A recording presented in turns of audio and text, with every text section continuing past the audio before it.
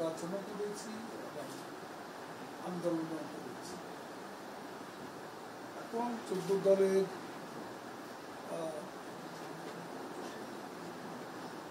পক্ষ থেকে তারা কিছু আসন করতেই পারে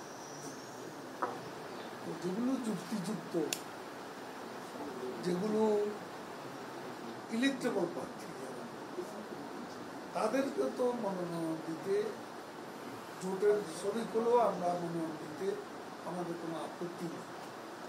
কিন্তু আপনি ইলেকটেবল আপনার নির্বাচিত হওয়ার মতো সমর্থন। এমন অবস্থা আমি একটা উল্লেখযোগ্য সিটার সেটা তো উচিত নয়। তাকে আমি আর দিলাম না। জোটের খাতিরে আমি যে ইলেকশনে হেরে যাবে, তাকে দিলাম। এটাও তো গণতন্ত্রের সুবিচার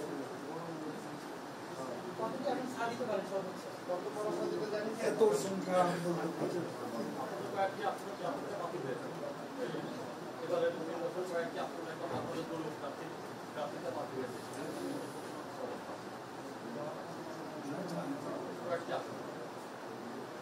যা বাতিল হয়েছে, উনি আমাদের কিছু আমরা কারও পক্ষে এখানে কাউকে চাপ করতে যাব না মুখে দিতেই কেউ যদি নিয়মের বাইরে গিয়ে বাদ পড়ে। নির্বাচন কমিশন যদি মনে করে, আর তারা যদি এর বিরুদ্ধে অ্যাপিলও করে অ্যাপিলেও যদি তাদের আবেদন না টেকে সে অবস্থা আমরা তো কারও পক্ষপাতিত্ব করি একটা প্রশ্ন ছিল, সেটা পৃথিবীর সকল উন্নত যেটা, এই কিন্তু হচ্ছে গিয়ে আমরা স্বাধীনতার পর থেকে দেখছি যে আসলে কোনো সরকারের আসলে একটা গ্রহণযোগ্য নির্বাচন যেটা, সেটা আসলে কখনো হয়ে ওঠেনি। এবং প্রশ্নবিদ্ধ ছিল সবসময় আর যে ব্যবস্থাটা সেটা দুই হাজার আট সালের নির্বাচন তো। নন পার্টি গভর্নমেন্ট ছিল নন পার্টি গভর্নমেন্ট ছিল না দুই হাজার 73 তে ইলেকশন 70 ইলেকশন ওগুলো কি ইলেকশন একটা কথা বলি।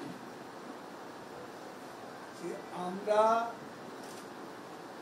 একমাত্র পার্টি।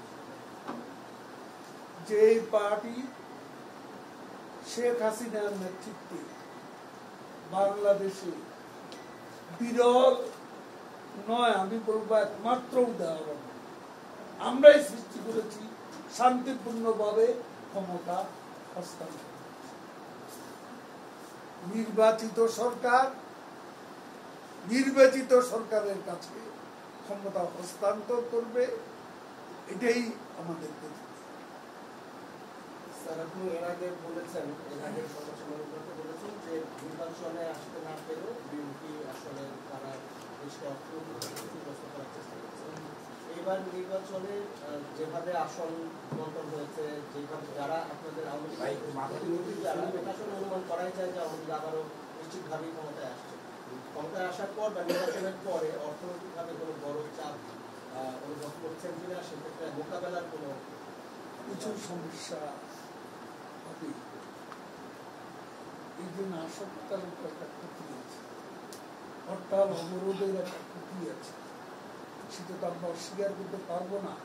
তবে এই ক্ষতি পুষিয়ে নেওয়ার জন্য যে নতুন পরিস্থিতির প্রভাব হতে পারে, সেই অবস্থা ইকোনমিক ক্রাইসিস হতে পারে, এটা চিন্তা করে পরিস্থিতি সামাল দেওয়ার জন্য আমাদের নেত্রী অলরেডি তিনি এ ব্যাপারে উদ্যোগ গ্রহণ করেছেন এবং যথাব্যবস্থা, যথাসময়ে নেওয়ার চিন্তা ভাবনা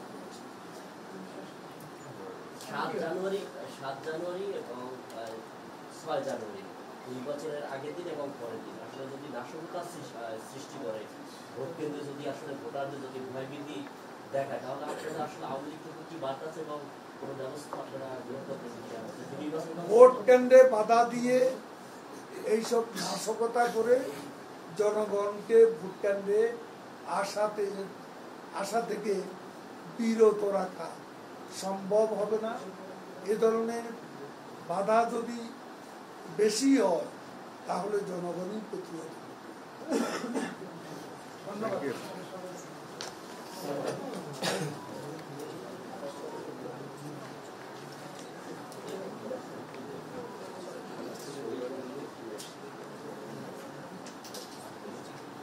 Thank